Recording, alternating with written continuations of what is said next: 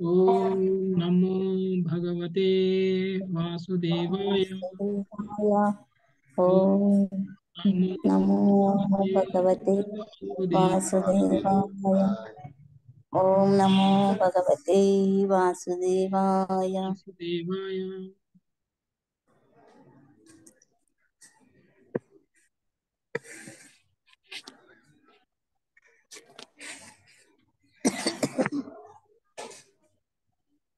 హరే కృష్ణ అందరికి వెల్కమ్ అండి.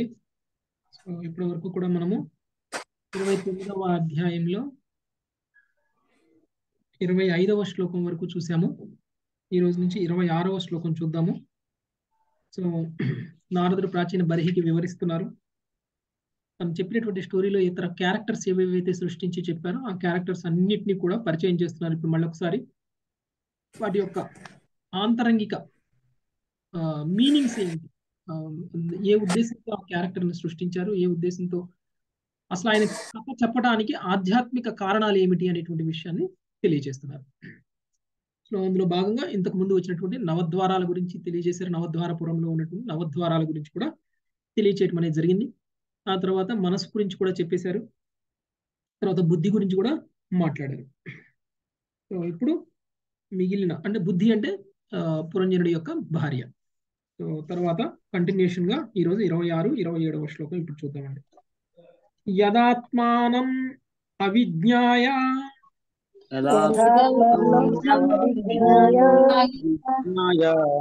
భగవంతం పరం గురుం. పురుషస్తు విషజ్ఞే విషజ్యేత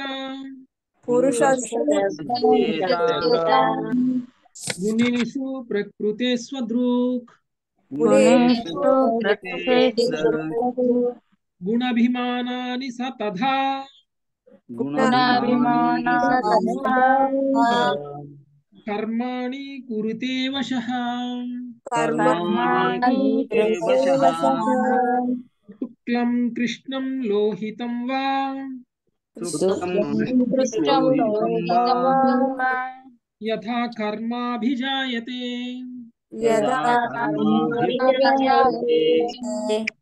మళ్ళీ శ్రీమతజీ చదవండి. హరే కృష్ణ ప్రభుజీ. తన అదృష్టమును లేదా దురదృష్టమును ఎంచుకొనడి సూక్ష్మ స్వాతంత్ర్యము కలదు. కానీ అతడు తా- తన పరమ గురువుని అనగా దేవదేవుని మర్చినప్పుడు ప్రకృతి గుణములకు వశీభూతుడగును. గుణ ప్రభావితుడైన అతడే దేహమే. తానని తలుచును. ఆ దేహము కొరకు అనేకమగు కర్మలలో అనురక్తుడగును.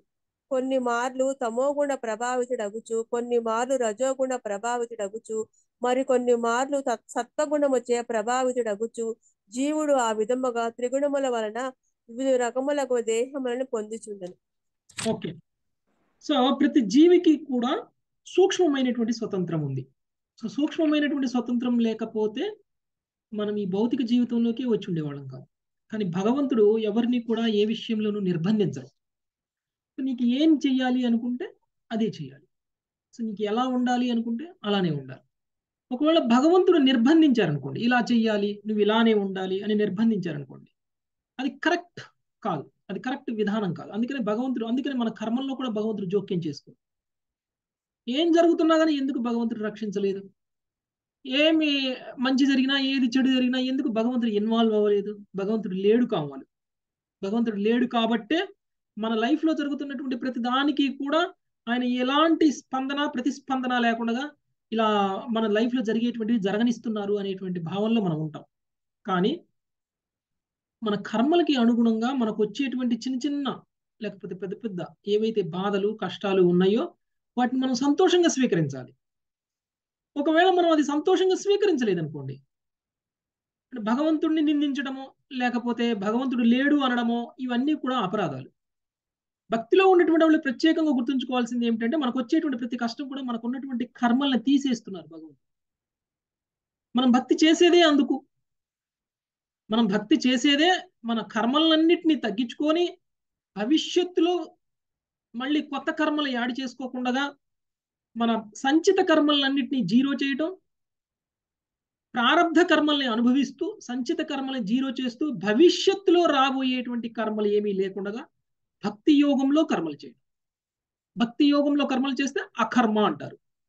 అంటే అందుకనే మనం అనుకునేది అకర్మల కర్మలు చేస్తున్నామంటే భవిష్యత్తులో మనకి ఏవి కర్మలు అంటాం ఇప్పుడు ఓకే ఇప్పటి నుంచి నేను భవిష్యత్తులో కర్మలు అంటకుండా నేను అకర్మల కర్మలు చేస్తాను మరి ఇంతకు ముందు సంచిత కర్మలు ఏమైపోతాయి? మన మనం ఎన్నో జన్మల నుంచి మూట కట్టుకొని తీసుకొచ్చాం కొన్ని కర్మల్ని. సో వాట అవన్నీ కూడా ప్రారంధ కర్మలుగా మారాలి. మరి ప్రారంధ కర్మలుగా మారితేనే మనము స్టార్ట్ చేస్తాం. వాటిని అనుభవించడం అనేటువంటిది జరుగుతూ ఉంటుంది. మరి అలాంటప్పుడు మనకు వస్తున్నటువంటి కొత్త కర్మలు రావట్లేదు. ఉన్న కర్మలు పోగొట్టుకుంటే సంతోషించాలా? బాధపడాలి. సంతోషించాలి. మనకు వచ్చేటువంటి కష్టాలని ఇంకా ఎంతో ఎక్కువగా రావాల్సినటువంటి కష్టాలని చాలా తక్కువలో భగవంతుడు తీసేస్తూ ఉంటారు. వాటిని మనం సంతోషంగా స్వీకరించి ఒక్కొక్క కర్మని పోగొట్టుకుంటున్నాము కర్మల బ్యాలెన్స్ జీరో చేసుకుంటున్నాము అని సంతోషించాలి. ఎందుకంటే మన సాధన యొక్క ముఖ్య ఉద్దేశమే కర్మల్ని జీరో చేసుకోవటం భగవద్ధామానికి వెళ్ళడం. సో భగవద్ధామానికి వెళ్ళేటువంటి అర్హతకి నిన్ను దగ్గర చేస్తున్నారు. సో అందుకు మనము సంతోషించాలి. సో అయితే ఈ సూక్ష్మమైనటువంటి స్వాతంత్రం ఏదైతే ఉందో అది మనకి భగవంతుడు ఇచ్చారు. ఈ స్వాతంత్రాన్ని మనం ఎలా ఉపయోగించుకుంటాము అనేటువంటిది మన యొక్క జీవితాన్ని నిర్ధారిస్తుంది. ఎప్పుడైతే ఈ స్వాతంత్రంతో భగవంతుడు ఉన్నాడు భగవంతుడికి సేవకుణ్ణి అని గుర్తిస్తూ కనుక నువ్వు కర్మలు చేస్తే అప్పుడు నువ్వు ఉద్ధరింపబడతావు. లేదు అంటే దానికి వ్యతిరేకంగా ఎప్పుడైతే చేస్తామో మన మీద గుణాల యొక్క ప్రభావం స్టార్ట్ అయిపోతుంది. అంటే ఈ గుణాల యొక్క ప్రభావం లేకుండా ఉండే విధంగా మనము ఈ భౌతిక లోకంలో ఉండాలి అని అంటే భగవంతుడి యొక్క పాదాలని ఆశ్రయించి ఉండాలి. ఇలా భగవంతుడి యొక్క పాదాలను ఆశ్రయించకుండానే మనకు ఉన్నటువంటి స్వాతంత్రాన్ని కనుక మిస్యూజ్ చేసుకుంటే అంటే ఏ స్థాయిలో మిస్యూజ్ చేసుకుంటే ఆ స్థాయిలో మన మీద గుణాల ప్రభావం అనేది ఉంటుంది. సత్వగుణ ప్రభావం ఉండొచ్చు రజోగుణ ప్రభావం ఉండొచ్చు తమోగుణ ప్రభావం కూడా ఉండవచ్చు. అంటే మనం మిస్యూజ్ మిస్యూజ్ శాతం పెరిగిపోయింది అనుకోండి అంటే మనం దుర్వినియోగం ఎక్కువగా చేసేస్తున్నాం అనుకోండి మనకు ఉన్నటువంటి స్వాతంత్రాన్ని అప్పుడు మన మీద తమోగుణ ప్రభావం వచ్చేస్తుంది. తమోగుణంలో ఉన్నటువంటి వ్యక్తి చివరికి భౌతిక లోకం నుంచి ఉద్ధరింపబడడానికి కొన్ని జన్మల సమయం పడుతుంది. జంతువుల జన్మలు ఎత్తాలి ఫస్ట్ అదే కదా మన కృష్ణుడు చెప్పింది. నువ్వు ఒకవేళ మరణించేటప్పుడు కనుక తమోగుణంలో ఉన్నట్లయితే నువ్వు జంతు జీవనానికి వెళ్ళిపోతావు అనేటువంటి విషయం చెప్పాడు. మరి ఒక్కసారి నువ్వు జంతు జీవనంలోకి జారిపోయావు అక్కడి నుంచి పైకి రావడం అనేటువంటిది మళ్ళీ కొన్ని వందల జన్మలు పడుతుంది. ఏ ఏ యోనిల్లో తిరగాలో మనకి ఇంకా తెలియదు జంతువుల్లో కూడా. సో మళ్ళీ మనల్ని మనం ఉద్ధరించుకునేటువంటి స్థాయికి రావాలి అని అంటే ఎన్నో సూర్యమాన సంవత్సరాలు అయిపోవాలి. సో కాబట్టి మనం ఆ పరిస్థితిలోకి వెళ్ళకుండా ఉండాలి అంటే మన మీద గుణ ప్రభావం తక్కువగా ఉండాలి. మన స్వాతంత్రాన్ని మనం మిస్యూజ్ చేసుకోకుండా దుర్వినియోగం చేసుకోకుండా భగవంతుడిని మర్చిపోకుండా భగవంతుని సన్నిధిలో ఉంటూ భగవంతుడి భక్తుల సన్నిధిలో ఉంటూ మనం భక్తిలో ముందుకు వెళ్తూ మన మీద గుణ ప్రభావాన్ని తగ్గించుకునే ప్రయత్నం చేయాలి. ఓకే. భాష్యము. ఈ వివిధ రకములకు దేహములు భగవద్గీత పదమూడు పాయింట్ ఇరవై ఆరు వివరించబడినది. ప్రకృతిస్తో ఈ బుత్కే ప్రకృతి జాన్ గుణాన్ కారణం గుణ సంగో అస్య సదసద్యో నిజన్మసు భౌతిక ప్రకృతి యందు త్రిగుణములు అనుభవించు జీవుడు ఈ విధముగా జీవనము సాగించును। భౌతిక ప్రకృతిలో అతనికి గల సంగత్వే దానికి కారణం। ఆ విధముగా అతడు ఉత్తమ అధమ జన్మలను పొందుచుండును। గుణ సంపర్కముల వలనే జీవుడు ఎనభై నాలుగు లక్షల రూపములలోని నానా విధ దేహములను పొందుచుండును. జీవునికి సూక్ష్మకు స్వాతంత్రము కలదని స్వదృక్ అను పదము చే ఇచ్చట స్పష్టముగా వివరించబడినది. అతడు సంక్షేమము చూడగలిగిన వాడని ఆ పదము యొక్క భావము. జీవుని సహజ స్థితి అతి సూక్ష్మమైనది. తన ఎంపికలో అతడు తప్పు చేసే అవకాశం కలదు. ఆ ప్రకారం అతడు భగవంతుని అనుకరించవలనని తలంచవచ్చును సేవకుడు కూడా తన స్వంత వ్యాపారమును ప్రారంభించి యజమానిని అనుగా అనుకరింప కోరవచ్చును. అది కావించినప్పుడు తన యజమాని రక్షణము కోల్పోవగలడు. తన యత్నములలో అతడు ఇతరుడే కావచ్చును లేదా కొన్ని మార్లు జైమమును సాధింపవచ్చును. అదే విధముగా కృష్ణుని అంశమైన జీవుడు ఆ దేవదేవునితోనే పోటీ పడుటకు తన స్వంత వ్యాపారము ప్రారంభించును. భగవంతుని స్థానము పడే స్థానమును పడేటకు పెక్కు పోటీదారులు ఉన్నారు. కానీ భగవంతునిగా నగుడు అసాధ్యమే కదా? ఈ విధముగా పలువురు భగవంతుని అనుకరింప యత్నించినందునే భౌతిక జగత్తునందు జీవన సంఘర్షణ నెలకొని ఉన్నది. భగవత్ సేవ విముక్తమును కలిగి దేవదేవుని అనుకరి అనుకరింపగోరట వలనే భవబంధములు కలుగుచున్నది. కృత్రిమ పద్ధతిలో భగవంతునితో ఏకము కాగోరు యత్నించి మాయావాద తత్వవేత్తలు భగవంతుని అనుకరించరు తాము ముక్తులమని వారు తలచినప్పుడు కేవలం అది భ్రమ మాత్రమే అగును. ఎవడును భగవంతునితో ఏకము గాని సమానము గాని కాదాలరు ఆ విధముగా ఊహించుట భవబంధమును కొనసాగించుటయే కాగలదు హరే. కృష్ణ ప్రభు. థ్యాంక్ యూ మాతాజీ సో మన మీద ఉన్నటువంటి గుణాల యొక్క ప్రభావమే మన యొక్క జన్మను నిర్ధారిస్తుంది అనేటువంటి విషయం మనకి భగవద్గీతలో క్లియర్గా తెలియజేశారు. ఇందాక కూడా మనం చెప్పుకున్నాం తమో గుణంలో ఉంటే కనుక జంతు జన్మ వచ్చేస్తుంది రజోగుణంలో ఉండి మరణిస్తే కనుక మానవ శరీరం వస్తుంది సత్వగుణంలో ఉండి మరణిస్తే కనుక దేవతా శరీరాలు వస్తాయి. సో ఈ విధంగా మనము లో కూడా ఉండకూడదు. సత్వగుణ స్థాయిని దాటిపోవాలి. అప్పుడు మనం ముక్తిని పొందుతాం. కాబట్టి శుద్ధ సత్వగుణంలోకి వెళ్ళినప్పుడు మాత్రమే మనకి ముక్తి వస్తుంది. అయితే మన మీద ఉన్నటువంటి గుణాల యొక్క ప్రభావంతో అంటే మనం ఏ స్థాయిలో భగవంతుడిని మర్చిపోయామో ఆ స్థాయిలో మన మీద గుణాల యొక్క ప్రభావం ఉంటుంది. సో ఈ గుణాల యొక్క ప్రభావం వల్ల మనము భగవంతుణ్ణి అనుకరించాలి అనేటువంటి ప్రయత్నం కొంతమంది చేస్తారు. కొంతమంది పూర్తిగా భగవంతుని మర్చిపోయేటువంటి ప్రయత్నం చేస్తారు. సో ఈ విధంగా భగవంతుని అనుకరించటము అనేటువంటిది భగవంతుడి యొక్క రక్షణ నుంచి మనము బయటపడటం. ఒకవేళ మనం భగవంతుని అనుకరించకపోతే భగవంతుడి యొక్క రక్షణ మన మీద ఉంటుంది. సో దానికి ఉదాహరణ ప్రపాదుల వారు చాలా క్లియర్గా చెప్పారు. ఒక సేవకుడు ఒక యజమానిని అనుకరించేటువంటి ప్రయత్నం చేసి యజమాని చేస్తున్నటువంటి వ్యాపారాన్ని సేవకుడు చేయటం మొదలుపెట్టినప్పుడు ఏమవుతుంది అని అంటే ఆ యజమాని ఆ సేవకుడిని తన స్వతంత్రానికి వదిలేస్తారు. అంతకు ముందు వరకు వాళ్ళ ఇంట్లో ఏ అవసరమైనా వాడికి ఏ అవసరమైనా కానీ ఆ యజమాని చూసుకునేవాడు. ఇప్పుడు ఆయన సొంతంగా వ్యాపారం చేసుకోవడం మొదలు పెట్టేసరికి యజమాని ఏం చేస్తాడండి? నీ వ్యాపారం నువ్వు చేసుకుంటున్నావు నీ కష్టాలు నువ్వు పడు. నీకు నేను సహాయం చేయడానికి అవసరం లేదు నాకు వేరే సేవకుడు ఉన్నాడు నేను వాడికి సహాయం చేసుకుంటాను అంటాడు యజమాని. అదే విధంగా మనం గనక భగవంతుడిని అనుకరించాలి అనేటువంటి ప్రయత్నం చేస్తే భగవంతుడి యొక్క రక్షణ మనకు ఉండదు కాబట్టి ఈ- లోకంలో చాలా మంది నేను భగవంతుడిని నేను ఆ, నేను అది నేను ఇది అని చెప్పుకుని తిరిగే వాళ్ళు చాలా మంది ఉన్నారు. నేనే దేవుణ్ణి అని చెప్పుకునే వాళ్ళు చాలా మంది ఉన్నారు. కాబట్టి అలా నేనే దేవుణ్ణి అని చెప్పుకునేటువంటి వాడు పతనం చెందినటువంటి వాడు. సో అలాంటి వ్యక్తి అందుకని ఇక్కడ క్లియర్గా చెప్తున్నారు. అన్ని శాస్త్రాలు కూడా ఒకటే చెప్తున్నారు ఎవ్వరూ కూడా భగవంతుడితో సమానం కానీ అధికులు కానీ కారు. నేనే భగవంతుడిని నేను భగవంతుడితో సమానం కాదు. నేనే భగవంతుడిని అనేటువంటి మాట మాట్లాడేవాడు చాలా మూర్ఖుడు వాడు శాస్త్రాలు చదవనటువంటి వ్యక్తి. కాబట్టి కలియుగంలో ఎస్పెషల్లీ నేనే భగవంతుడు అని చెప్పుకొని తిరిగేటువంటి వాళ్ళని మనం అసలే నమ్మొద్దు. సో అలా నమ్మితే మనం వాళ్ళు పొందినటువంటి డెస్టినేషన్ మనం కూడా పొందుతాం. వాళ్ళు ఎలాగో భగవద్ధామానికి వెళ్ళరు. సో మనల్ని కూడా తీసుకెళ్ళరు. కాబట్టి అలాంటి వాళ్ళని పూజించకండి. సో మీరు చేయాల్సిందల్లా ఏంటంటే కృష్ణుని భజన చేయాలి. కృష్ణుని కీర్తించాలి. ఎందుకంటే ఆయనే స్వయంగా భగవానుడు. ఆయనే భగవానుడు అనేటువంటి విషయాన్ని శివుడు ఒప్పుకున్నారు బ్రహ్మ ఒప్పుకున్నారు దేవతలు ఒప్పుకున్నారు అన్ని శాస్త్రాలు ఒప్పుకున్నాయి. కాబట్టి అంతకు మించినటువంటి ప్రామాణికం లేదు కాబట్టి మనం భగవంతుడిని ప్రేమించేద్దాం భగవంతుడికి ప్రార్థన చేద్దాం. అప్పుడు అది మనం కరెక్ట్ భక్తి మార్గంలో ఉన్నట్లు అవుతుంది లేదు అంటే భౌతిక లోకంలో భౌతిక లాభాలను పొందడం కోసం వచ్చినటువంటి అనేక మంది దేవి దేవతలు అని చెప్పుకునే తిరిగేటువంటి వాళ్ళని పూజించి మనం మోసపోవద్దు. అప్పుడు అది మనము చేస్తున్నది భక్తి కాదు. మనము రజోగుణం యుతమైనటువంటి భక్తో లేకపోతే తమోగుణ యుతమైనటువంటి భక్తో అవుతుంది అది అది సత్వగుణయుతమైనటువంటి భక్తి అసలే కాదు. కాబట్టి వ్యక్తి పూజలు మానేద్దాం భగవంతుడికి పూజలు చేయడం మొదలు పెడదాం शुक्ला प्रकाश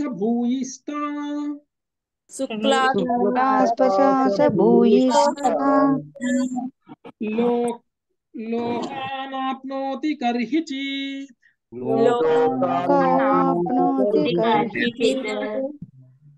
कोधर्कान् क्रियायासाम् कोधर्कान् क्रियायासाम्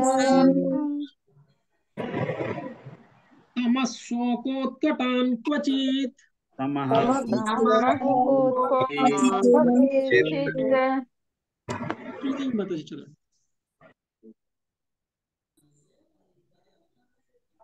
హరే కృష్ణ హరే కృష్ణ సత్వగుణయుతులు వేదోపదేశమును అనుసరించి పుణ్యవర్తనమును కలిగి ఉందురు ఆ విధముగా వారు దేవతలు వసించు ఉన్నత లోకములను చేరగలరు. రజోగుణ ప్రభావితులు మర్త్యలోకమునందు నానా విధములకు ఉత్పాదక కర్మలలో నియుక్తులగుదురు.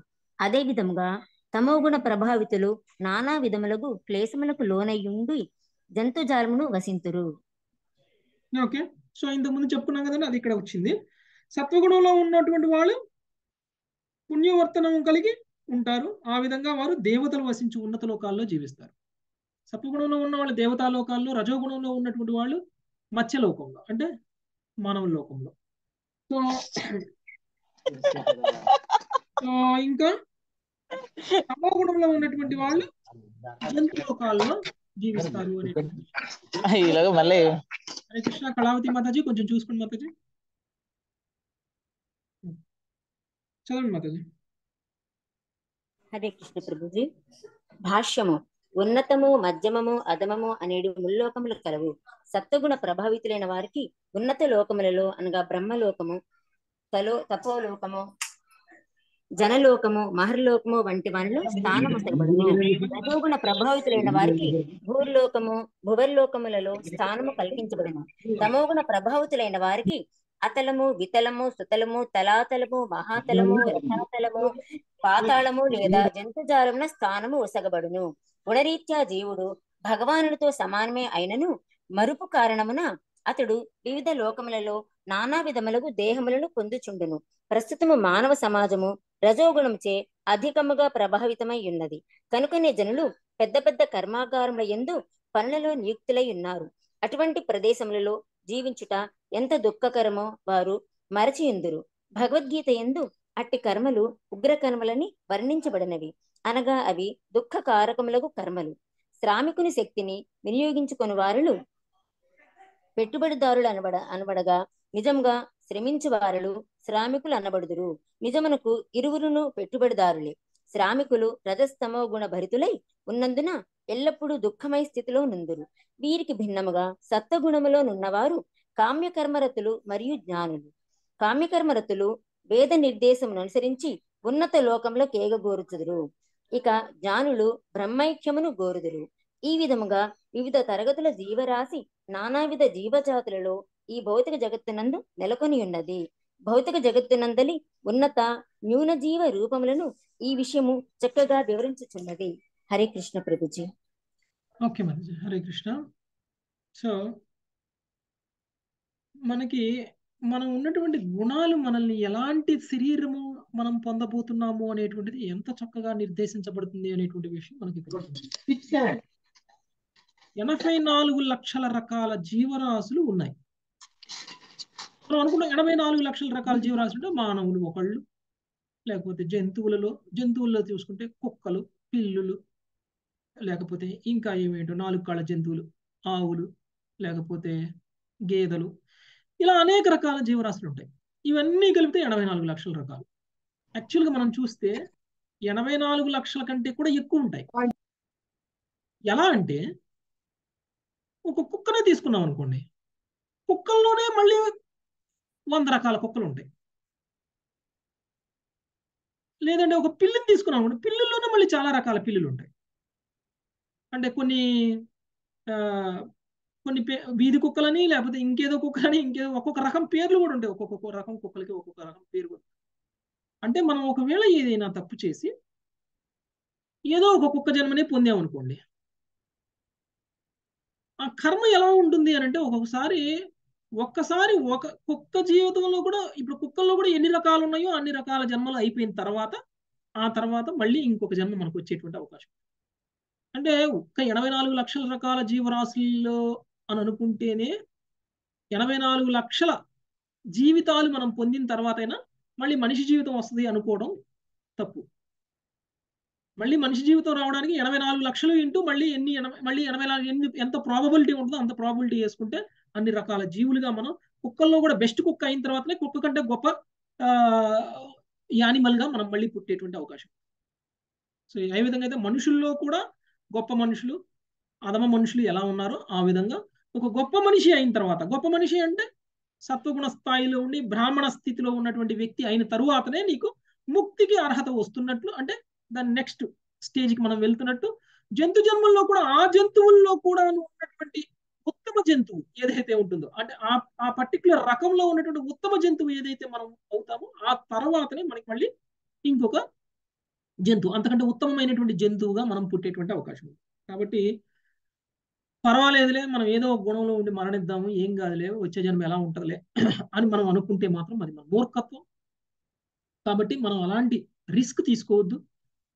చాలా సావధానంగా మన యొక్క గుణాన్ని ఉత్త ఉద్ధరించుకోవడం అనేటువంటిది చాలా చాలా ఇంపార్టెంట్. చాలా ఉద్ధరించుకోకపోతే ఆ గుణం మనల్ని మన మనం మనం పొందబోయేటువంటి శరీరాన్ని నిర్ధారిస్తుంది.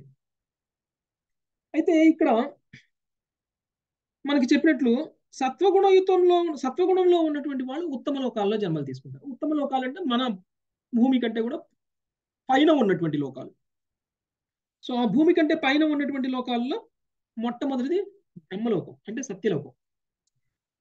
ఇక్కడ సత్యలోకము అంటే బ్రహ్మలోకం. సత్యలోకం అంటే వైకుంఠం కాదు. లేదంటే కనుక భగవంతుడి లోకం కాదు. సత్యలోకం అంటే బ్రహ్మలోకం. సత్యలోకం కంటే కింద తపోలోకం ఉంది జనలోకం ఉంది మహర్లోకం ఉంది. ఇలాంటి అనేక ఆ, లోకాలలో జన్మలు తీసుకు ఏ లోకంలో అయినా జన్మలు తీసుకునేటువంటి అవకాశం. అంటే మన యొక్క గుణ ప్రభావాన్ని బట్టి మన యొక్క కర్మలను బట్టి మనకు ఉన్నటువంటి ఆ, కర్మల సంచిని బట్టి మనం ఏ లోకంలో తీసుకోవడానికి అర్హత ఉంటుందో ఆ లోకంలో మనం జన్మం తీసుకుంటాం. అంటే మనం అనుకుంటాం ఇంతగా భూమి మీద తప్ప ఎక్కడ జీవరాశులు లేరు అని అనుకుంటాం మనం. కానీ భూమికి పైన కూడా లోకాలలో జీవరాశులు ఉన్నారు. కాకపోతే ఆ జీవరాశుల్ని మనం చూడలేము. ఆ జీవరాశులకు ఉన్నటువంటి శరీరాన్ని మనం చూడలేము.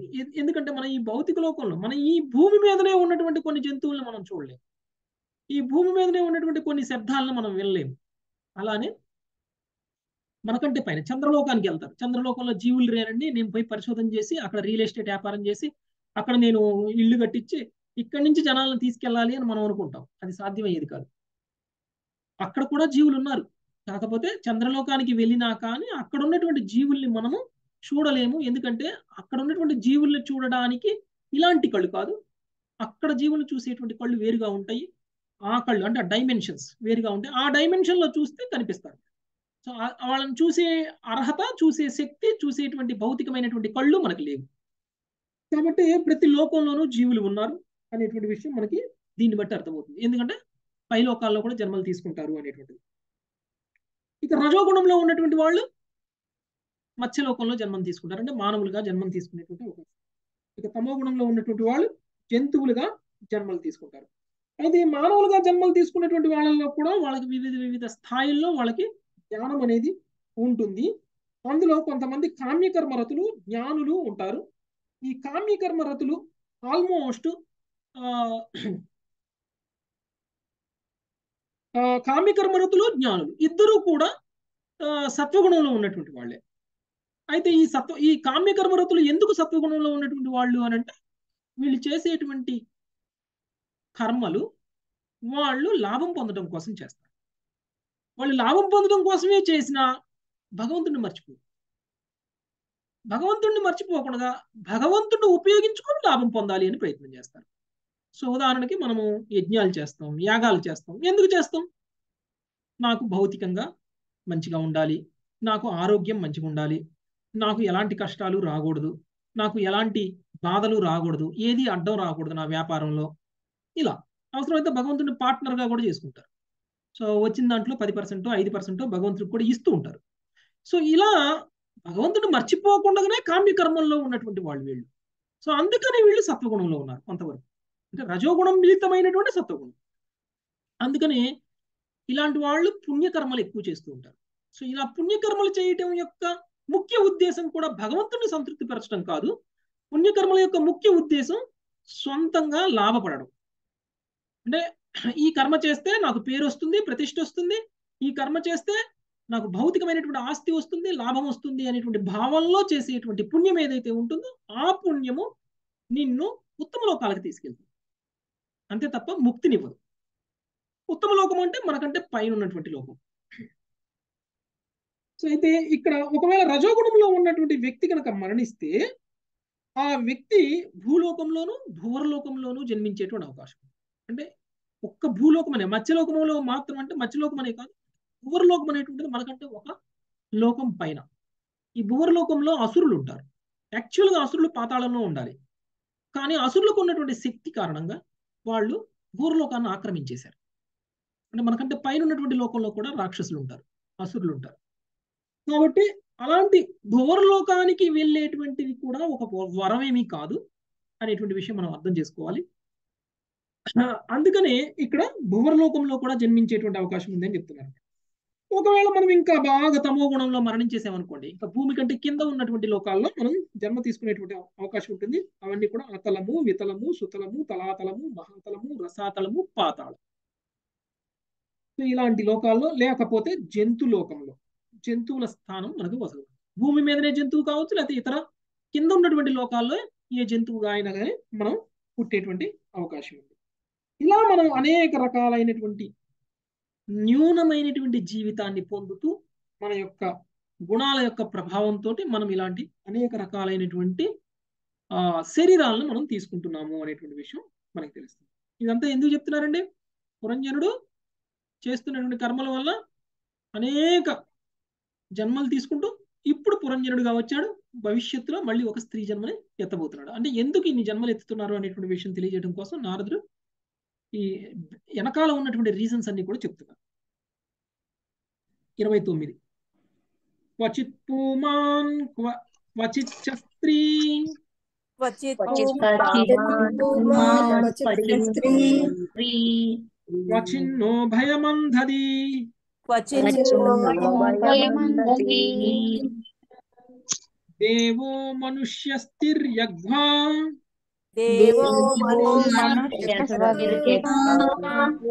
యథాకర్మ గుణం భవ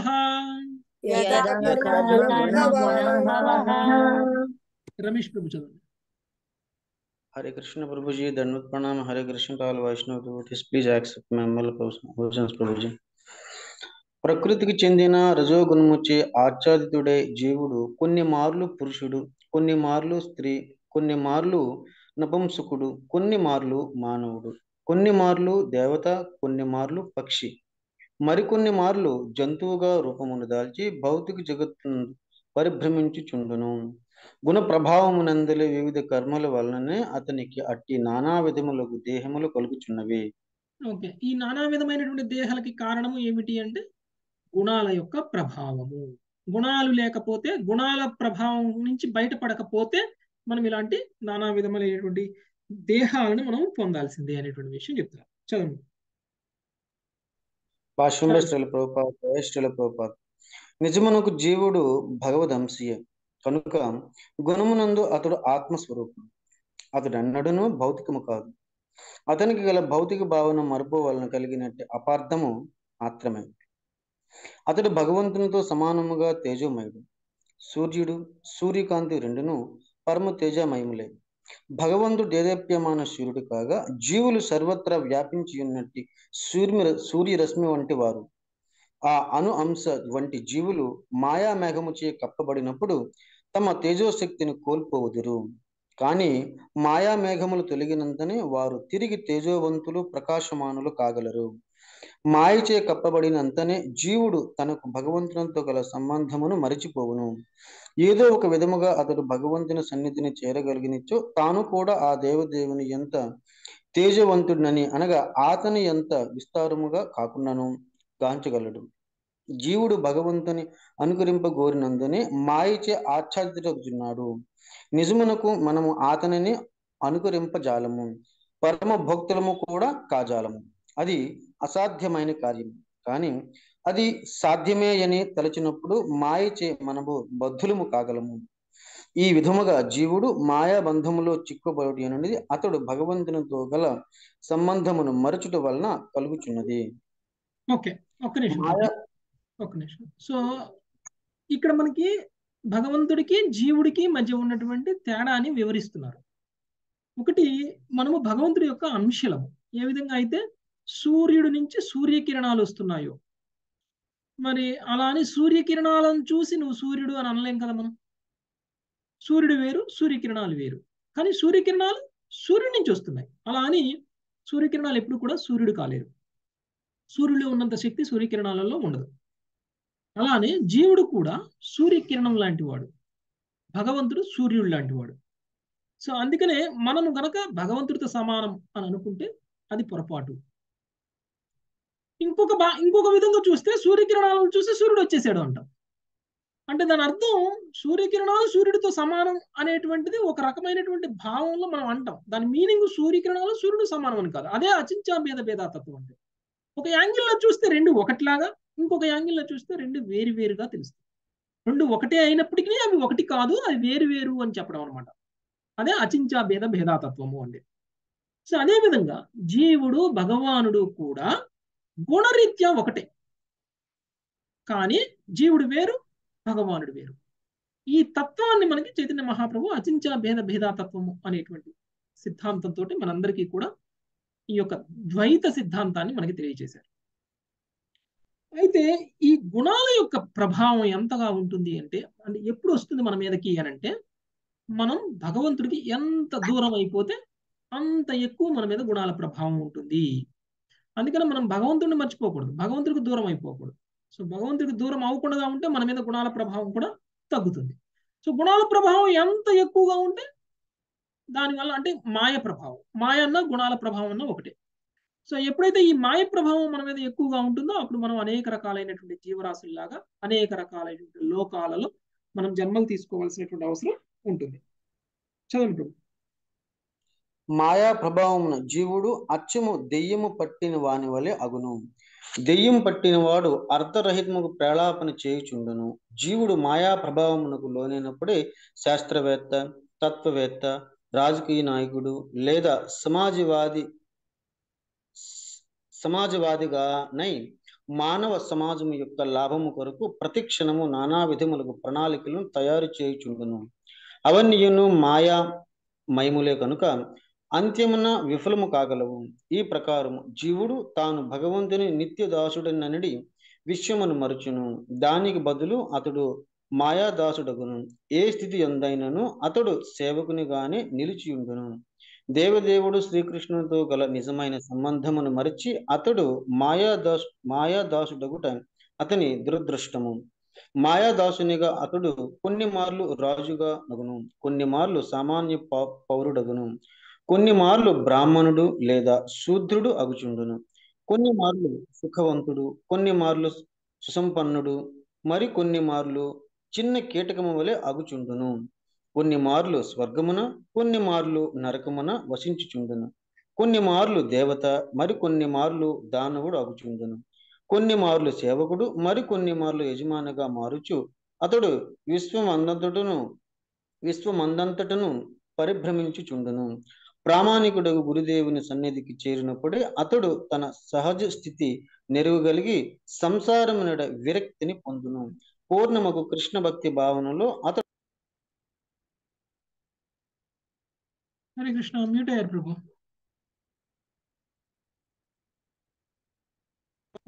పశ్చాత్తాపడును జీవుని బద్ధ భౌతిక జీవితమును పవిత్రమనుచున్నది కనుక అట్టి పశ్చాత్తాపము పరమ లాభదాయకమే.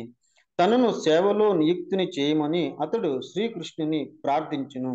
అప్పుడు ఆ దేవదేవుడు అతనికి మాయాబంధము నుండి ముక్తిని ప్రసాదించును. ఈ విషయమే భగవద్గీత ఏడవ అధ్యాయం పద్నాలుగవ శ్లోకం ఎందు శ్రీకృష్ణ భగవాను నుంచి ఇట్లు వివరింపబడినది. దైవీహేష గుణమయీ మమ మాయా దురత్యయ మామేవా ఏ ప్రపద్యంతే మాయామేతం తరంతితే త్రిగుణాత్మకమైన నా ఈ దైవీ మాయ నిశ్చయముగా దాట సత్యము కానిది. కానీ నన్ను శరణు తెచ్చిన వారు దీనిని సులభముగా దాటగలుగుదురు. కేవలం శ్రీకృష్ణుని అనుగ్రహము చేతనే ఎవడైనను మాయాబంధము నుండి బయటపడగలడు. జ్ఞానముచే లేదా ఇతర కలాపములచే అది సాధ్యము కాదు. శ్రీకృష్ణుని అనుగ్రహముచే జీవుడు తన నిజమైన స్థితిని అవగతము చేసుకున్నప్పుడు సదా భక్తి యోగమున సుస్థిరముగా నిలిచి తదనుగుణముగా వర్తించగలడు. ఆ విధముగా అతడు మాయాబంధము నుండి పూర్తిగా విడవడగలడు. కృష్ణ భక్తి భావంలో సుస్థిరుడైనంతట మాయ అతనిని తాకజాలదు. ఈ ప్రకారము కృష్ణ భక్తుల సాంగత్యములో జీవుడు సంసార కల్మషము నుండి బయటపడగలడు. ఈ సందర్భమున శ్రీ కృష్ణదాస కవిరాజు గోస్వామి శ్రీ చైతన్య చరితామృతము మధ్యలేల ఇరవై రెండవ ఇరవై ఐదు శ్లోకమునందు ఇట్లు పలికరి.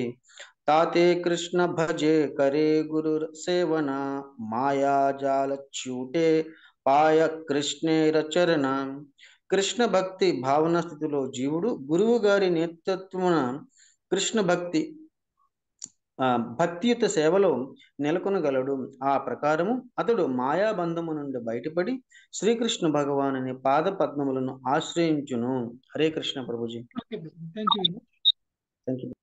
సో మాయ యొక్క ప్రభావం ఎంత పవర్ఫుల్గా ఉంటది అనేటువంటి విషయాన్ని ఇక్కడ మనకి తెలియజేశారు. సో ఆ పవర్ఫుల్ మాయ యొక్క ప్రభావంలో గొప్ప గొప్ప జ్ఞానవంతులు కూడా అంటే భౌతికమైనటువంటి జ్ఞానం పొందినటువంటి వాళ్ళు చివరికి అవసరమైతే వాళ్ళు ఆ రాకెట్స్ను కూడా కలిపెడతారు ఆ అంతరిక్షానికి ప్రయాణం చేయగలిగినటువంటి యంత్రాలను కూడా తయారు చేయగలిగినటువంటి శాస్త్రవేత్తలు కూడా భగవంతుడు శక్తిని ఇవ్వకపోతే భగవంతుడు నాకు ఈ జ్ఞానం ఇవ్వకపోతే భగవంతుడు నాకు ఇలాంటి ఒక ఆ, ఒక రకమైనటువంటి టాలెంట్ ఏదైతే ఉందో ఈ టాలెంట్ నాకు ఇవ్వకపోతే నేను ఇది చెయ్యలేను అనేటువంటి భావనలో లేరు. అంటే భగవంతుడికి కృతజ్ఞత అనేది లేదు వీళ్ళకి. ఎందుకు? కృ- భగవంతుడికి కృతజ్ఞత ఎప్పుడు ఉంది అని చెప్పొచ్చు అని అంటే ఎప్పుడైతే తనకున్నటువంటి భౌతికమైనటువంటి తెలివితేటలు టాలెంట్ ఏదైతే ఉంటుందో ఇది భగవంతుడు వల్ల నాకు వచ్చింది భగవంతుడు నాకు ఇచ్చారు. ఎందుకు? మనకి భగవంతుడు ఇస్తేనే ఏదైనా వస్తుంది. మనం పూర్వజన్మలో చేసుకున్నటువంటి కర్మఫలాలకు అనుగుణంగా భగవంతుడు మనకి అవి ఇస్తారు ఇప్పుడు.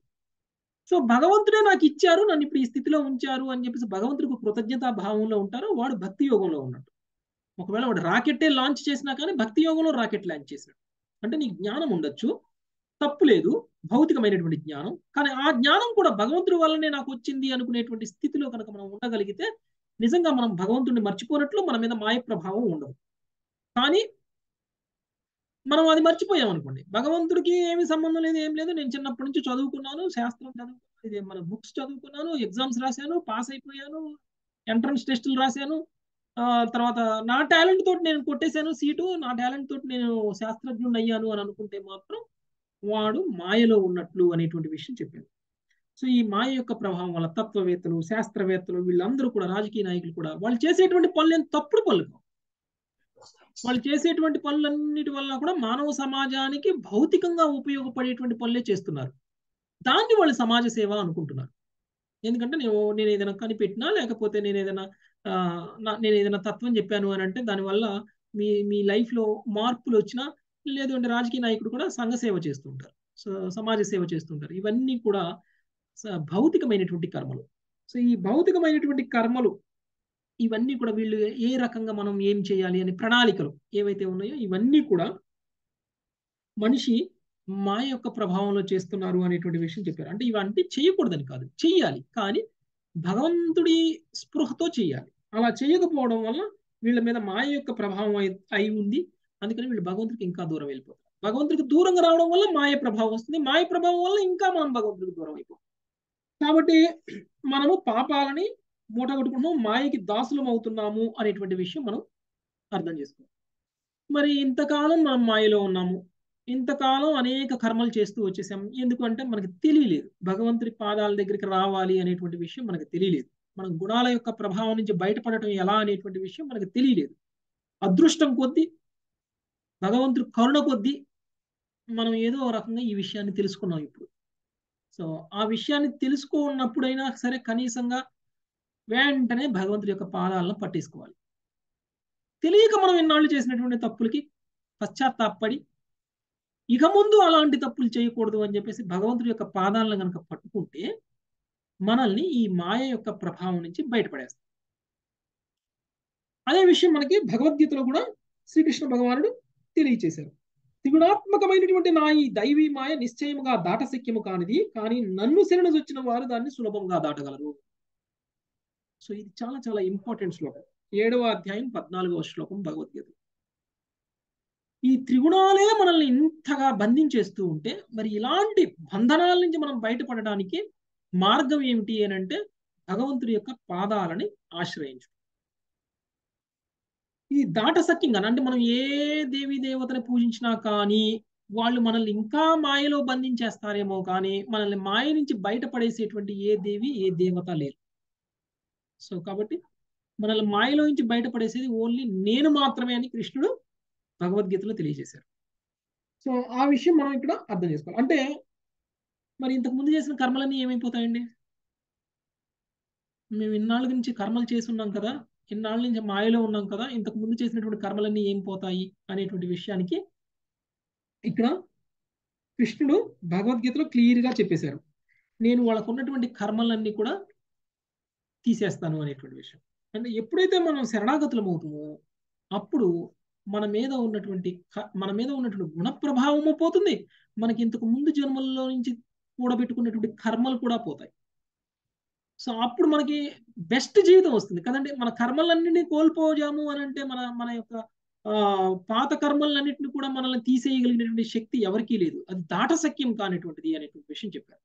కానీ కృష్ణుని శరణ పెడితే మాత్రం అది దాటిలా చేస్తుంది సో అలా మనకి చెప్పారు. అదే విషయం మనకి చైతన్య చరితామృతంలో కూడా ఏం చెప్తున్నారు అని అంటే మనము భక్తియుత సేవలో నెలకొనాలి. కృష్ణ భక్తిలో నెలకొనాలి. కృష్ణ భగవానుని యొక్క పాద పద్మాలని ఆశ్రయించాలి. అది కూడా ఎలా? డైరెక్ట్గా పోయి కాదు. గురువు యొక్క నేతృత్వంలో. గురువు యొక్క నేతృ గురువు లేకుండా చేసేటువంటి ఆ భక్తి పరిపూర్ణమైనటువంటి భక్తి కాదు. అది కూడా సత్వగుణయుతమైనటువంటి భక్తిగానే పరిగణింపబడుతుంది. కాకపోతే అధమ జన్మలకి వెళ్ళిపోవు కానీ ఉత్తమ జన్మలు వస్తాయి. భగవంతుడు కూడా స్పందిస్తారు దానికి కూడా కానీ ముక్తి రాదు. ముక్తిని పొందా స్థితికి నువ్వు వెళ్ళాలి అని అంటే తప్పకుండా గురువు గురువు యొక్క ఆధ్వర్యంలో మన భక్తి చేయాలి. అప్పుడు మనం భక్తియుత సేవలో నెలకొన్నప్పుడు అలాంటి ఒక భక్తి వల్ల భగవంతుడు ప్రసన్నమవుతారు. ఆ విధంగా మనము మనకున్నటువంటి కర్మల్ని మనకున్నటువంటి అన్ని భవబంధాలని తెంచేసుకొని మనం భగవద్ధామానికి వెళ్ళిపోవచ్చు. అది మనకి చైతన్య చరితామృతంలో కృష్ణరాజగవి ఆ, రజ కృష్ణ కృష్ణదాస రవి కవి రాజగోస్వామి చెప్పారు. ముప్పై ముప్పై ఒకటి. క్షుత్పరీతో యథాదీన క్షుత్పరీతో యథా పారమేయో గృహం గృహం.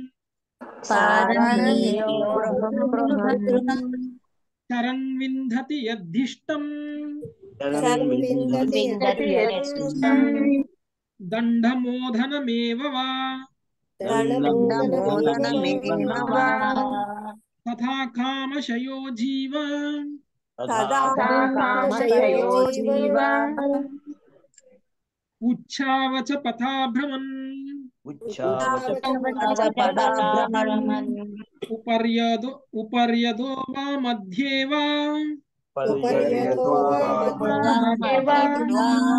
याति तिष्ठं प्रिया प्रियम्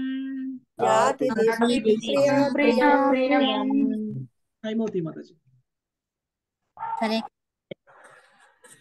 క్షుద్బాధకు లోనై ఆహారం కొరకు ఇంటింటికి తిరిగేటి సునకముచి సునకముని జీవుడు పోలియుండును వి- విధిని అనుసరించి ఆ శునకము కొన్ని మార్లు కర్ర దెబ్బలను మరి కొన్ని మార్లు కొంత ఆహారమును పొందుతుండును అదే విధముగా జీవుడు వాళ్ళు వాంఛనచే ప్రేరేపితుడై విధిని అనుసరించి వివిధ జీవజాతులలో పరిభ్రమించుండును. కొన్ని మార్లు అతడు ఉన్నత స్థితిలో ఉండును. కొన్ని మార్లు అధమ స్థితికి ఎగును కొన్ని మార్లు స్వర్గమునికి ఎగును కొన్ని మార్లు నరకమున ఎగును కొన్ని మార్లు మధ్యలోకమున చెనచుండును. సో ఒక్కొక్కసారి శుద్ధ భక్తులు మాట్లాడేటప్పుడు మాటలు చాలా వింటూ ఉంటే మనకి చాలా పవర్ఫుల్గా అనిపిస్తుంటాయి. ఈవెన్ ప్రతిపాదలు కూడా ఒక్కొక్కసారి గట్టిగా మాట్లాడతారు. సో ఆ మాటలు మనం వింటే అమ్మ ఇలా మాట్లాడుతున్నారు ఇంత కోపంగా మాట్లాడుతున్నారా? ఇంత పవర్ఫుల్గా ఎందుకు మాట్లాడుతున్నారు? అనిపిస్తుంది. ఇక్కడ నారదు మాటలు కూడా అలానే ఉన్నాయి. ఈవెన్ భాగవతంలో మొదటి స్కందంలో చూసినప్పుడు రెండవ స్క- మొదటి స్కందంలో చూసినప్పుడు సుఖదేవ గోస్వామి కూడా అలానే మాట్లాడతారు. చాలా పవర్ఫుల్గా మాట్లాడతారు. అంటే వాళ్ళు తట్టుకోలేరు అనమాట అజ్ఞానంతో వీళ్ళు ఎందుకు ఈ భౌతిక లోకంలో ఎలా ఉండిపోయారు? వీళ్ళు ఎందుకు తెలుసుకోలేకపోతున్నారు? అనేటువంటి ఒక తపనతోటి శుద్ధ భక్తులు సుఖదేవ గోస్వామి నారదుడు ఆ ఈవెన్ ప్రభుపాద కూడా మాట్లాడినా కానీ కోపంగా చాలా మందిని ఒక్కొక్కసారి తిట్టేసేవాళ్ళు ప్రభుపాదలు. రాస్కిల్స్ అంటారు ఎక్కువగా. సో అలా యూస్ చేస్తుంటారు. అవన్నీ ఎందుకు యూజ్ చేస్తుంటారంటే మన మీద కన్సర్న్ తోటి మన మీద బాధతోటి. సో ఇక్కడ నారదుడు కూడా అలానే మాట్లాడుతుంది మనల్ని ఎవరితో కంపేర్ చేస్తున్నారండి? భౌతిక లోకంలో అనేక శరీరాలను తీసుకొని అనేక రకాలుగా సుఖించుతూ ఇంకా పురోగతి చెందుతున్నాము అని అనుకునేటువంటి వాళ్ళని ఎలా బోధిస్తున్నారు అని అంటే ఆకలితో ఉన్నటువంటి కుక్క ఇంటింటికి వెళ్ళి ఆహారం కోసం ఎలా వెతుక్కుంటుందో ఆ విధంగా మనం అనేక శరీరాలను పొంది సుఖాలని లాభాలని పొందాలి అని చూస్తున్నాము అని. సో ఇలా గనక మనం అంటే ఎవరైనా మనల్ని ఏమంటారండి? సో మనల్ని ఉండని అది అంటే శుద్ధ భక్తుడు అంటే వింటారు మాతాజీ. మనం అంటే వెళ్ళము కానీ శుద్ధ భక్తుడు అంటే వింటారు. శుద్ధ భక్తుడు మాటలకి అంత పవర్ ఉంటుంది. అందుకనే ఒక్క పదకొండు సంవత్సరాల కాలంలోనే ఇంత గొప్ప ఆధ్యాత్మికమైనటువంటి ఒక సంస్థని ఆ సంస్థలో ఇంతమంది భక్తుల్ని ఇంతమంది జీవితాల్ని మార్చగలిగినటువంటి వ్యక్తి శుద్ధ భక్తుడు కాకపోతే కాలేరు. మనం మన జీవితంలో ఒక పదకొండు సంవత్సరాల కాలంలో మనం ఏమి సాధించాము అని మనం చూడండి. అది కూడా డెబ్బై ఐదు సంవత్సరాల తర్వాత. ఒక వ్యక్తికి డెబ్బై సంవత్సరాలు దాటిన తర్వాత నీకున్నటువంటి పదకొండు సంవత్సరాలు లెక్కి. అంటే డెబ్బై ఐదో సంవత్సరం నుంచి ఎనభై ఆరో సంవత్సరం వరకు. ఆ వయసులో మనం ఎలా ఉంటాం? అన్- అలాంటి ఒక వయసులో కూడా ఇప్పుడు మనం ఎన్నో జన్మల నుంచి లేకపోతే ఎన్నో ఎన్నో సంవత్సరాల నుంచి మనం వ్యాపారం చేస్తే కూడా మనం ఒక కోటి రూపాయలు రెండు కోట్లు మూడు కోట్లు సంపాదించలేం. అలాంటిది ఒక పదకొండు సంవత్సరాలలో నూట ఎనిమిది టెంపుల్స్ని స్థాపించి అవి కూడా రిచ్గా ఒక్కొక్కటి వందల కోట్లతోటి తయారు చేయబడినటువంటి టెంపుల్స్. ఇంతమంది జీవితాల్లో మార్పులను తీసుకొచ్చి భక్తులుగా మార్చారు అని అంటే వాళ్ళల్లో మానవులకి ఉన్నటువంటి శక్తి ఉంటే అది జరగదు. ఒక మనిషి చేస్తే అది జరిగేది కాదు. అందుకని ప్రభుపాదుల వారు ఉన్నప్పుడు ఆ పదకొండు సంవత్సరాల్లో ఆయన గురించి ప్రత్యేకంగా ఎవరికి తెలియకపోయినా కానీ హరే కృష్ణ హరే కృష్ణ అంటే అందరికీ తెలిసేది. అంటే ఆయన్ని చూపిస్తూ చేయలేదు. ఆయన చేసినటువంటి పనులన్నీ కూడా భగవంతుడిని చూపిస్తూ చేశారు. కృష్ణుడే కనిపించారు అందరికి. కృష్ణుడి గురించే చెప్పారు ఆయన. సో కృష్ణుడినే ముందు పెట్టారు. నేను చేశాను ఎక్కడా చెప్పలేదు. ఇదంతా కూడా కృష్ణుడు చేశారు అందుకనే ప్రభుపాదుల వారు అమెరికా వెళ్తుంటే కూడా మీరు అమెరికా వెళ్తున్నారు అని అంటే నేను అమెరికా వెళ్ళట్లేదు భాగవతం అమెరికా వెళ్తుంది నేను భాగవతానికి తోడుగా వెళ్తున్నాను అని అన్నారు. అది భావంలో ఉన్నటువంటి తేడా. అదే ఇంకొకళ్ళు ఇంకొకళ్ళు అయితే అవును నేను అమెరికా వెళ్తున్నాను కాకపోతే భాగవత ప్రచారం చేయడానికి వెళ్తున్నాను అని అనుండొచ్చేమో వాళ్ళు. కానీ ప్రభుపాదుల వారు అలా ఎప్పుడు అనలేదు. భాగవతం అమెరికా వెళ్తుంది భాగవతానికి తోడుగా నేను వెళ్తున్నాను.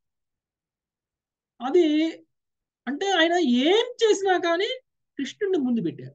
కృష్ణుడు చేస్తుండు కృష్ణుడికి నేను నా నా శరీరం ద్వారా నా ద్వారా కృష్ణుడు చేయించుతున్నారు అని అనుకున్నారు. అంటే నిమిత్త మాత్రుడుగా కర్మలు చేశారు. ఏదైతే కృష్ణుడు మనకి భగవద్గీతలో ఎలా కర్మలు చేయాలి అని చెప్పారో అలానే చేశారు. ఒక ఇన్స్ట్రుమెంట్ లాగా కర్మలు చేశారు. అందుకనే వాళ్ళు శుద్ధ భక్తులు. అందుకని వాళ్ళ మాటలకి అంత విలువ ఉంటుంది వాళ్ళ మాటలకి అంత పవర్ ఉంటుంది. వాళ్ళ మాటలు అంటే వింటారు తిడితే పడతారు. కానీ మనలాంటి వాళ్ళు చేస్తే పడరు అందుకని ఇక్కడ భౌతిక లోకంలో ఉన్నటువంటి మనుషుల గురించి నారదుడు చాలా పవర్ఫుల్ మాటలు అన్నారండి. కుక్కల్లాగా మనం అనేక శరీరాలను తీసుకుంటున్నాము. కుక్కలు ఏ విధంగా అయితే ఇంటింటికి తిరిగి ఆకలితో పడుతున్నప్పుడు ఆకలి గురించి అడుగుతున్నప్పుడు కొన్ని ఇళ్ళ వాళ్ళు కర్రలతో కొడతారు. కొన్ని ఇళ్ళ వాళ్ళు ఆహారం వేస్తారు. ఆ విధంగా చెప్పు దెబ్బలు కర్ర దెబ్బలు తింటూ ఉన్నాం మనం అనేక జీవితాల్లో. కొంత కొన్నిసార్లు సుఖాన్ని అనుభవిస్తున్నాం కొన్ని కొన్నిసార్లు కష్టాలను అనుభవిస్తున్నాం. ఇది జరుగుతుంది అనేటువంటి విషయాన్ని మనకి చెప్తున్నారు. సో ఆహారం దొరికింది అంటే మనం ఉత్తమ లోకాలకి వెళ్ళినట్టు ఆహారం దొరకలు చెప్పు దెబ్బలు తిన్నాము లేదా కర్ర దెబ్బలు తిన్నాము అని అంటే అదమ లోకాలకి వెళ్ళినట్టు. కాకపోతే ఆ పైన వెళ్ళినా కిందకి వెళ్ళినా కానీ శరీరాలు అయితే తీసుకుంటూనే ఉన్నాం. ఇంటింటికి అయితే తిరుగుతూనే ఉన్నాం అనమాట ఓకే చదవండి హరే కృష్ణ. భాష్యము. జీవుని పరిస్థితి ఇతన కుక్కతో పోల్చబడినది. ప్రారంధమును అనుసరించి కుక్క ఒక ధనవంతునికి యజమాని చెంత ఉండవచ్చును లేదా అది వీధి కుక్క అయి ఉండవచ్చును. ధనవంతుని కుక్క అతి వైభవోపేతముగా జీవించును. యజమాని తన కుక్క పేరిట కోట్లాది రూపాయలను ఇల్లుగా రాసి ఇచ్చిన ఉదంతములు పాశ్చాత్య దేశములలో వినవచ్చుతుండును అయినను పెద్ద సంఖ్యలో శునకములు ఆహారం లేకుండా వీధుల్లో చరించుట కానవచ్చు. కనుక జీవుని బద్ధ స్థితిని కుక్కతో పోల్చుట సమంజసముగా ఉన్నది. కుక్క జీవితమే గడపవలసి వచ్చినచో కృష్ణుని యొక్క కుక్కగా నగుట సర్వోత్తమని బుద్ధిమంతులకు మానవుడు ఎరుగగలుగును. భౌతిక జగత్తులో కుక్క కొన్ని మార్లు అందలం ఎక్కవచ్చును కొన్ని మార్లు వీధిలో చరించుతుండవచ్చును కానీ ఆధ్యాత్మిక జగత్తులో శ్రీకృష్ణుని యొక్క కుక్క నిరంతరము సుఖభాగి ఉండదు కనుకని శీల భక్తి వినోద ఠాకురులు వైష్ణవ ఠాకూర తోమార కుకూర కలియ కుకూర బలియా జానహ మోరే అని గానం చేసిరి. ఆ విధముగా ఆయన తాను వైష్ణవుని యొక్క కుక్క కుక్కగా నవగోరిది కుక్క ఎల్లప్పుడూ యజమాని గుమ్మము చెంత కాపరగా కాయించు అతనుకు ఆయనకు ప్రతికూలమైన ఏ వ్యక్తిని కూడా లోనికి అనుమతింపకుండును. అదే విధముగా ప్రతి ఒక్కడు వైష్ణవుని సేవలో నెలకొని అతనికి అన్ని విధముల ప్రసన్నతను కూర్చుట యత్నించవలెను. ఆ విధముగా చేయనిదే ఎవడను ఆధ్యాత్మిక ప్రగతిని సాధించలేదు ఈ భౌతిక జగమున మనుజుడు సత్వగుణమును వృద్ధిపరచుకున్నచో ఆధ్యాత్మిక ప్రగతిని సాధింపకపోవటే కాక ఉన్నత లోకములను కూడా నెరవేరజాలడు ఈ విషయము భగవద్గీత పద్నాలుగో అధ్యాయము పద్దెనిమిది పద్దెనిమిదో శ్లోకమందు ఇట్లా ధ్రువపర ధ్రువపరపబడినది ఊర్ధ్వం గచ్చంతి సత్వస్థ మధ్యే తిష్టంతి రాజసా జగన్య గుణ వృత్తిస్థ అదో గచ్చంతి తామసాహ సత్వగుణమునందున్న వారు క్రమంగా ఉద్దలోకమునకు ఉద్ధరింపబడుదురు. రజోగుణమునందున్న వారు భూలోకమును నివసింతురు. హేయమైన తమోగుణమునందున్న వారు నరకలోకమును పతనము చెందుదురు. వివిధ లోకముల్లో నానా విధములకు జీవజాతులు కలవు. జీవుని యొక్క సత్వ రజో స్తమ గుణములను అనుసరించి అవి ఉద్భవించుచున్నవి. జీవుడు సత్వగుణ ఇతుడైనచో ఉన్నత లోకమును చేరును. రజోగుణ ఇతుడైనచో మధ్య స్థితిలో నిలిచియుండును. తమోగుణ ఇతుడైనచో నీతి జీవజాతుల్లోకి తెలియబడును. హరే కృష్ణ ప్రభు. ఓకే సో మనల్ని కుక్కలతో పోల్చేశారు. అయితే ఎలాగో కుక్క జీవితమే బతకాలి కదా? ఆ కుక్క జీవితం ఏదో భగవంతుడికి సేవ చేసేటువంటి కుక్కగా అయితే చాలా సుఖంగా ఉంటుంది అనేటువంటి విషయం చెప్పారు. ఏ విధంగా అయితే ఒక ఎవరి ఒక ఒక ఒక గొప్ప ఆస్తి ఉన్నటువంటి వ్యక్తి ఇంట్లో గనక కాపలా ఉండేటువంటి కుక్కలా ఉంటే ఆ కుక్కకు ఉన్నటువంటి సౌకర్యాలు ఎలా ఉంటాయో అలా ఉంటాయి అన్నమాట అందుకని భగవద్ధామంలో భగవంతుడికి సేవ చేసే కుక్కలాగా మనం ఉండాలి. అందుకని వైష్ణవ వైష్ణవ కవిత్వం కవిత్వం ఏదైతే భక్తి వినోద ఠాకూర్లు రాశారో శ్రీల భక్తి వినోద ఠాకూర్లు రాశారో అందులో కూడా ఆయన అదే చెప్పారు. నేను ఒక శుద్ధ భక్తుని ఇంట్లో కుక్కగా అయితే నాకు ఇంకా చాలా ఇష్టం అనేటువంటి విషయం చెప్తారు. సో ఆయన ఆయన యొక్క ఆయన రాసినటువంటి కవితల్లో. అండ్ వాళ్ళు రాసినటువంటి ఈ పద్యాలు కవితలు ఏవైతే ఉన్నాయో చాలా ఇంటెన్స్గా ఉండే వాళ్ళు చాలా భావాలతో రాసేవాళ్ళు అనమాట సో అంటే వాళ్ళు వాళ్ళలో ఉన్నటువంటి భక్తి ఏ రకంగా లేకపోతే వాళ్ళని వాళ్ళు అంత తక్కువగా చూపించుకుంటూ వాళ్ళని అంత తక్కువగా ఉంటారంటే చూడండి ఎప్పుడైతే మనలో భక్తి పెరుగుతుందో అప్పుడు మన యొక్క ఇది ఏది? మన మన మన యొక్క హ్యూమిలిటీ వినయం. వినయం అనేటువంటిది ఇంకా పెరుగుతుందండి. అంటే మనల్ని మనం తక్కువగా చూపించుకునే స్థితికి మనం ఎంత ఎక్కువగా వెళ్తామో అంత ఎక్కువగా మనలో భక్తి పెరిగినట్టు. సో ఎవరైనా నేను భక్తి చేస్తాను నాకు భగవంతుడు కనిపించేస్తాడు అని అన్నారు అని గొప్పగా చెప్పుకుంటున్నారు. వాళ్ళు నిజమైన భక్తులు కాదు. నిజమైన భక్తులు అయితే అట్లా చెప్పుకోరు. ఆస్తి నేను వాళ్ళు ఎంత గొప్ప భక్తులైనా కానీ నేను ఎంత అండి? నేను మీ మీతో కంపేర్ చేస్తే నేను ఏమీ లేదు. నేను చాలా తుచ్చుణ్ణి.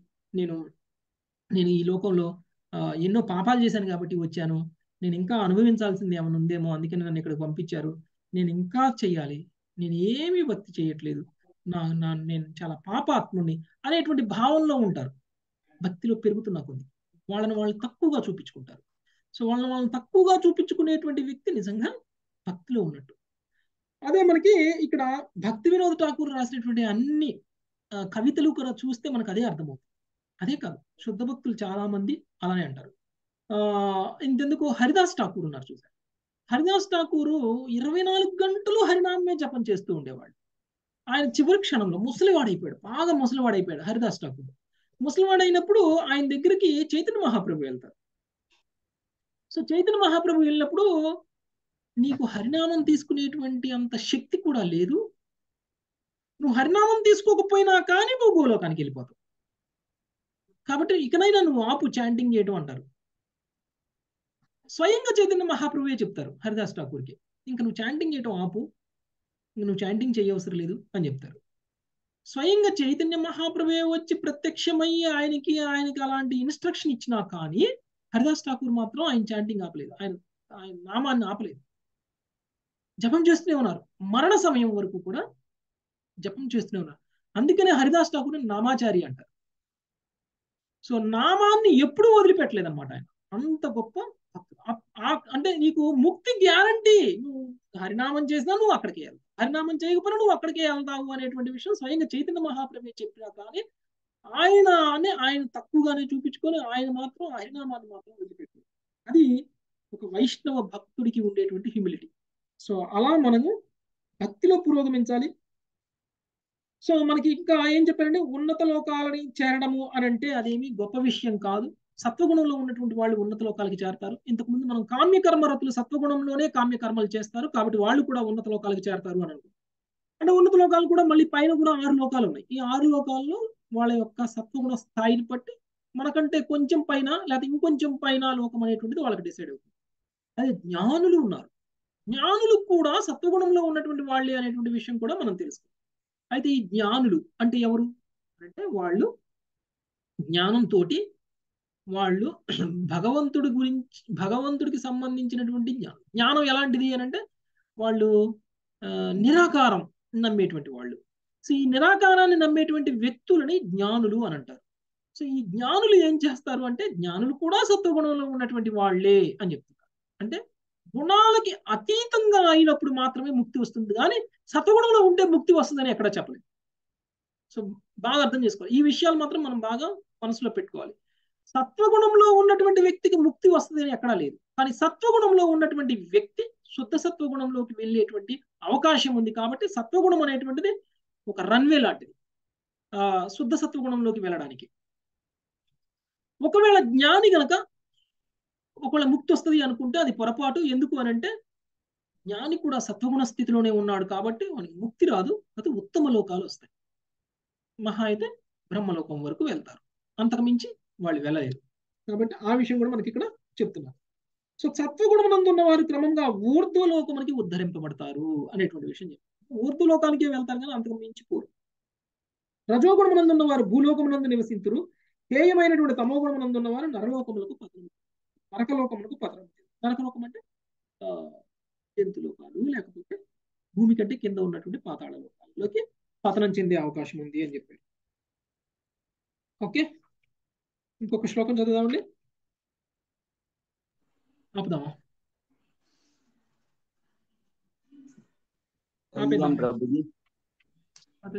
ఆపుదామా? కొంతమంది ముగ్గురు వెళ్ళిపోయారు ప్రభుజీ. వెళ్తున్నట్టుంది అందరు. ఒక ఎనిమిది మంది ఉన్నారు. ఓకే మాతాజీ స్టాప్ చేద్దాము. ఒక నిమిషం ఎవరు వెళ్ళకండి మాతాజీ మాట్లాడతారు. భక్తులందరికీ